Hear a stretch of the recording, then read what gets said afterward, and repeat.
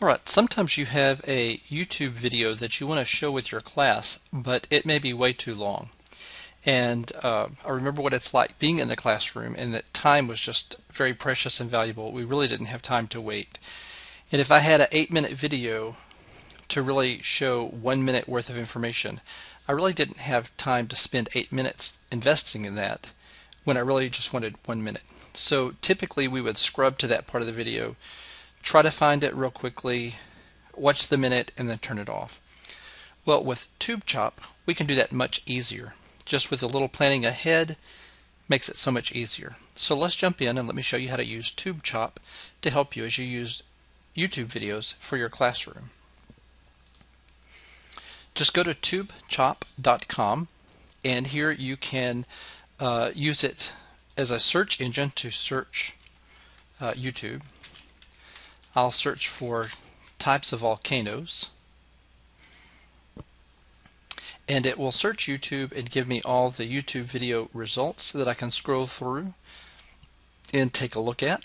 You'll notice on the right hand side if you already know what video you're looking for look on the right hand side and it will tell you who did the video, how many times it was viewed, and how long it is. So that may help you identify, oh yeah, that's the video I'm looking for.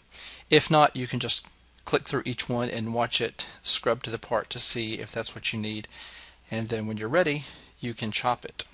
So I'm just going to use this first video, which is only 3 minutes 26 seconds, but I really don't want to show, not wanting to show 3 minutes 26 seconds, I really only, only want to show uh, almost a minute of information. So let me click on that link and this will pull up the video. The video will play through here in the main part of the screen. But if you notice down here on the left hand side, it will uh, show you where it happens to be in the video uh, as it plays along. And then this bar down at the bottom is what you really want to pay attention to, and that's going to be like our bookends, where we can set the beginning and ending section for the video, uh, just the part that we want. So for example, as I'm watching it, I could just move this in.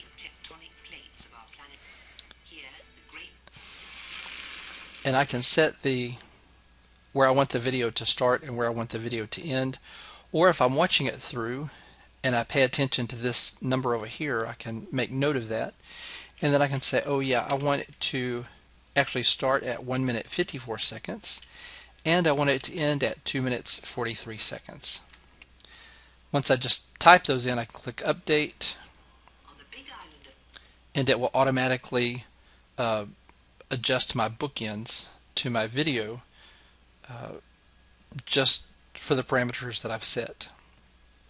Once I've done that and I have my video exactly like I want it, then I just click on Chop It, and what it will do is it will render uh, give me a new link, and this is a tube chop link, not a YouTube, but a tube chop link that I can then share with my students. I can tweet, I can post, however I need to do it. And when students or anybody goes to that link, it will just give them uh, that minute of video that I'm wanting them to watch, starting and ending exactly where I said. Now, it really doesn't edit the video in the fact that it doesn't. Um, delete the beginning, it doesn't trim the beginning and ending off, that video still resides in its full capacity on YouTube. But it just says jump to this part and start playing, and when it gets to this part, end it. Your students won't know that it was a 3 minute 26 video unless they actually uh, look up the title of the video on YouTube and go to it.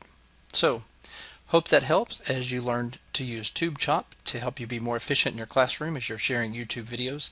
This is also a great thing for your kids to use if they're sharing videos back demonstrating understanding or maybe videos that they've created and they're only wanting to share a certain part during a presentation. Hope this was helpful and if you can uh, if you have any other questions or have any uh, ideas of how you could use TubeChop in your classroom or how you are using it in your classroom, I'd love to hear from you. You can contact me at bellis at tcea.org if you're on Twitter, follow us at twitter.com slash TCEA or jump over to Facebook and like us. We try to share out a variety of tips and tricks, ideas that you can use in your classroom to make things uh, more efficient as you engage students with technology. Thanks so much and hope you have a great day.